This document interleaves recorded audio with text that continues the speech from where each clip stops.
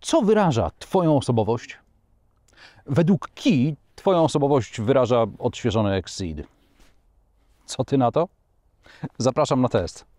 Sponsorem odcinka jest Autobaza.pl, najdłużej działający w Polsce serwis z historią pojazdów. Kupujesz auto używane? Koniecznie sprawdź historię pojazdów na autobaza.pl.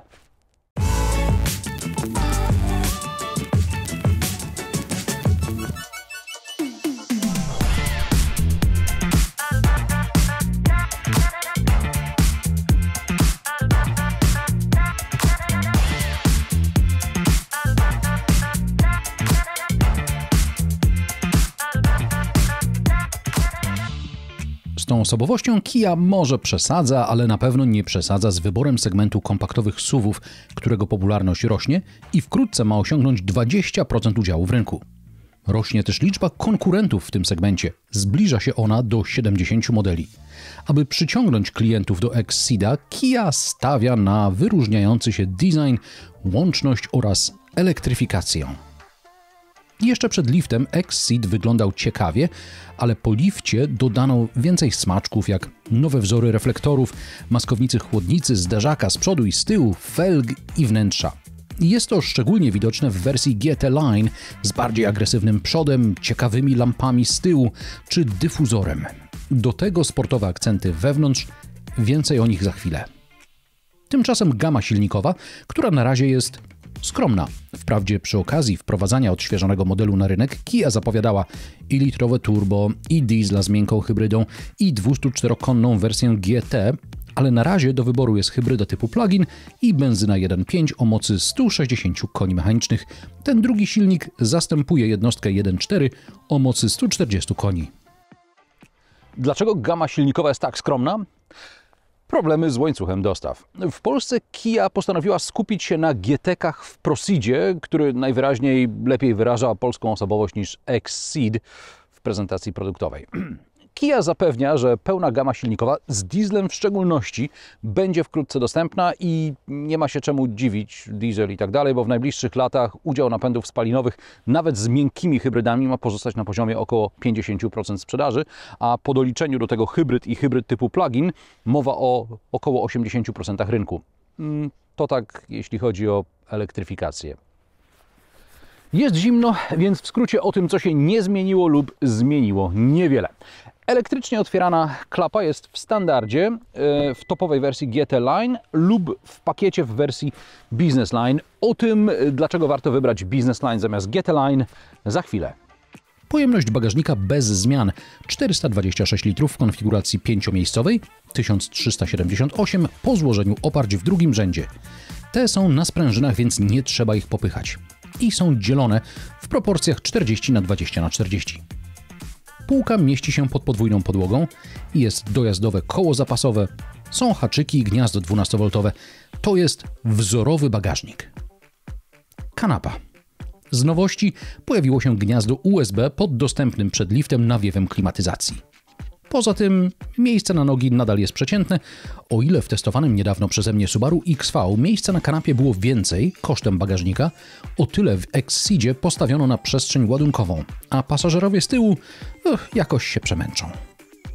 Są niewielkie kieszenie w drzwiach i uchwyty na napoje w podłokietniku. Podoba mi się, że zaślepki isofiksów są na sprężynach, więc nie trzeba ich wyciągać i pamiętać, gdzie się je odłożyło. Cockpit to kolejny przykład wzorowego planowania. Kia to taki Volkswagen sprzed paru lat, zanim w Wolfsburgu zatrudnili speca od systemu inforozrywki, który zdaje się ostatnio znów szuka pracy. W każdym razie jest odpowiednio dużo fizycznych przycisków i pokręteł do sterowania najważniejszymi funkcjami samochodu oraz klimatyzacją.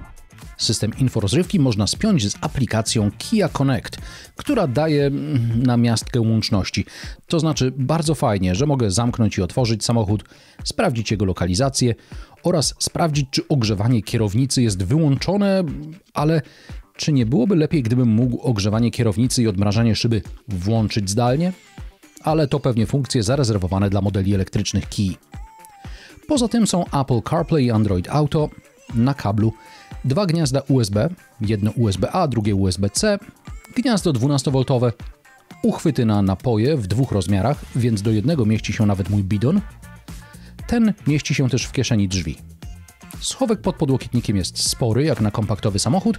Schowek przed pasażerem jest średnich rozmiarów. W dwóch najwyższych wersjach wyposażenia są nie tylko ogrzewane fotele, ogrzewana kierownica, ale też ogrzewana przednia szyba. Po kamerze cofania to najlepsze rozwiązanie, które trafiło do samochodów w XXI wieku. W mroźny poranek zamiast skrobać szybę, w minutę masz ją odmrożoną. Ciekawostka, z jakiegoś powodu podgrzewana przednia szyba jest niedostępna w dieslach, hybrydach typu plug-in oraz jeśli wybierzemy pakiet Business Line Plus, w skład którego wchodzą m.in. elektrycznie sterowana klapa bagażnika, skórzana tapicerka, wentylacja przednich foteli i regulacja elektryczna fotela kierowcy z pamięcią. A skoro o fotelach mowa, to w wersji GT Line strasznie dały mi w kość. Po pierwsze, podparcie ud jest wysokie, jak w samochodzie sportowym, więc kilka razy zdarzyło mi się yy, nieprzyjemnie nadziać się przy wsiadaniu. Z kolei wysiadanie jest niepotrzebnie trudne. Nie po to kupuję podwyższony samochód, żeby męczyć się z wysiadaniem, jak z samochodu sportowego, którym z całym szacunkiem Kia Exceed nie jest nawet w wersji GT. W dodatku, i to może być kwestia mojej budowy ciała, mimo regulacji podparcia odcinka lędźwiowego, w tych fotelach kręgosłup mi wysiada po parunastu minutach za kółkiem. Dobrze, że za tydzień odwiedza mnie fizjoterapeuta, bo będzie miał co naprawiać. Ja mam 175 cm wzrostu, ale Ania, która ma 160 cm wzrostu, też narzeka na pozycję za kierownicą i nie chodzi jej tylko o to, że znów kierownica zasłania jej jedną trzecią wirtualnych zegarów. Coś z tymi fotelami jest nie tak. Dlatego jeśli rozważasz wersję GT Line, sugeruję dłuższą chwilę posiedzieć za kierownicą, a potem spróbować zwykłych foteli, na przykład w wersji Business Line. Nawet z elektryczną regulacją powinny być wygodniejsze niż te sportowe.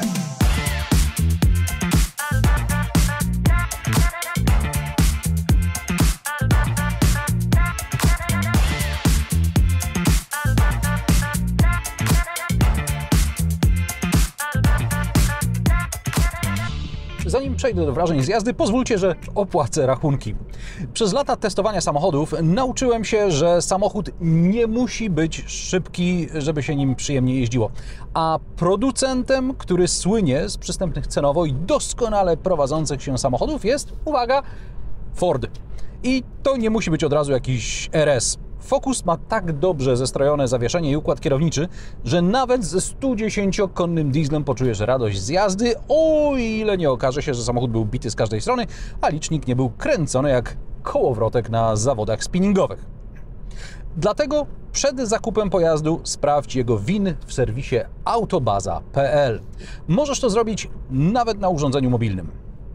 Z raportu autobaza.pl dowiesz się, że na pierwszy rzut oka wyglądający poprawnie Focus drugiej generacji z ostatniego wypustu e, ma na liczniku przynajmniej 100 tysięcy kilometrów mniej niż powinien.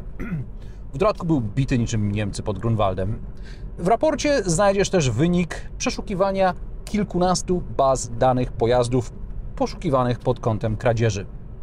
Za niecałe 70 zł dostajesz z autobaza.pl raport historii pojazdu, a za dodatkowe 5 zł profesjonalną wycenę na podstawie analiz rynku samochodowego. Uzbrojony w taką wiedzę możesz zdecydować, czy dany samochód w ogóle warto rozważać, a jeśli tak, to masz dane, które pomogą Ci w negocjacjach ze sprzedającym. Link do serwisu autobaza.pl w opisie wideo. Korzystając z autobaza.pl pomagasz sobie i wspierasz kanał Marek Drives, za co serdecznie dziękuję. A teraz wrażenia z jazdy, które są zbliżone do przedliftowej Key Exceed z silnikiem 1.4, czyli Exceed jest niewymagający, ale daje na tyle dużo przyjemności z jazdy, żeby chciało Ci się nim nadrobić parę kilometrów w drodze z pracy do domu. Długie zakręty to jego specjalność. Ciaśniejsze niekoniecznie i bardzo brakuje mi w Exceedzie napędu na wszystkie koła, który szczególnie w jesienno-zimowe dni dałby mi takie większe poczucie bezpieczeństwa. Benzynowy silnik 1.5 o mocy 160 koni mechanicznych to w tym wypadku nie miękka hybryda, chociaż taki silnik też się kiedyś pojawi i będzie miał identyczne osiągi. Na razie mamy obiecywany czas od 0 do setki w wersji z dwusprzęgłową skrzynią biegów 9,2 sekundy, 9 sekund z manualną przekładnią. Mnie z DCT udało się osiągnąć 8,9 sekundy i to na lekko wilgotnej nawierzchni, za to z wyłączonym ESP. Na początku czuć, że komputer nie daje pełnej mocy, dopiero od około 40 km na godzinę samochód zaczyna się naprawdę rozpędzać. Oczywiście, przy takim stylu jazdy zapomnij o obiecywanych przez producenta niecałych 6,5 litra na setkę, ale w normalnym użytkowaniu wychodziło mi niskie 7 na 100 w cyklu mieszanym. Tylne zawieszenie jest wielowahaczowe, z przodu są kolumny Macphersona. Do tego z przodu zastosowano hydrauliczne odbojniki. Hydrauliczne odbojniki stosuje też Citroën w modelach C4 Cactus, C5 Aircross, ale tam jest to na obu osiach. Na nierównościach amortyzator nie dobija o gumowy odbój, bo ten jest hydrauliczny i lepiej pochłania energię. Hydrauliczne odbojniki mają też przyczynić się do szybszej reakcji układu kierowniczego i do zwiększenia stabilności nadwozia. Tak przynajmniej twierdzi Kia. Z wyjątkiem hydraulicznych odbojników, e, reszta elementów niezależnego zawieszenia w Exceedzie jest identyczna jak w pozostałych wersjach nadwoziowych. E, ze względu na większy prześwit, sprężyny w Exceedzie są bardziej miękkie niż w hatchbacku, co zwiększa komfort podróżowania. Wyciszenie jest przeciętne, widoczność jak na ten rodzaj nadwozia niezła, za to systemy wspomagające kierowcę nadal ostrzegają często i głośno, niezależnie od wersji wyposażenia, nie ma kamery 360. Według specyfikacji samochód powinien mieć system automatycznego parkowania, ale nie znalazłem go. Być może to znów kwestia problemów z półprzewodnikami.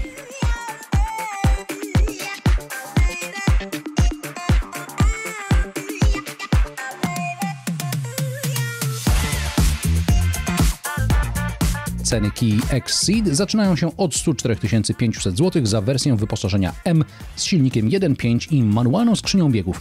Na razie jedyny inny napęd to hybryda typu plug-in. Jeśli żaden z tych napędów Cię nie przekonuje, pozostaje poczekać na pojawienie się pozostałych silników i ogłoszenie cen, chociaż coś mi mówi, że te też nie będą wiele korzystniejsze. Testowy egzemplarz to benzynowy GT Line z DCT. Jego cena z dodatkowym wyposażeniem to 146 900 zł. Nadal uważam, że Kia Exceed to dobrze zapakowana odpowiedź na aspiracje wielu klientów. Z mojej strony uwaga na fotele w GT Line. Poza tym bardzo ciekawa propozycja w rozsądnej cenie. A jak Tobie podoba się Kia Exceed, napisz mi w komentarzach pod filmem. Jeśli podobają Ci się moje sarkastyczne, do rzeczy, a może nawet nieco zabawne testy, zasubskrybuj kanał Marek Drives i daj łapkę w górę. Naciśnij też dzwoneczek, aby nie przegapić nowych odcinków. Chcesz więcej i na luzie? Wbijaj na kanał Ania i Marek jadą. Link na ekranie.